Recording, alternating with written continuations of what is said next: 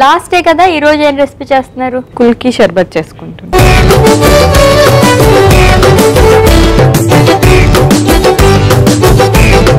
చాలా మందికి సమ్మర్లో ఆకలి వేయట్లేదు అని చెప్పేసి అంటుంటారు కదా దేని గురించి?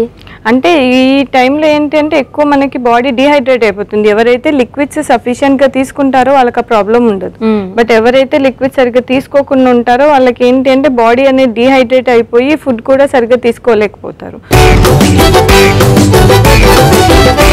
డైట్ మెను సోమవారం నుండి బుధవారం వరకు రాత్రి ఎనిమిది గంటలకు. తిరిగి మరుసటి రోజు మధ్యాహ్నం ఒంటి గంట నలభై ఐదు నిమిషాలకు. చూస్తూ ఉండండి మీ ఈటీవీ అభిరుచి ఛానల్లో.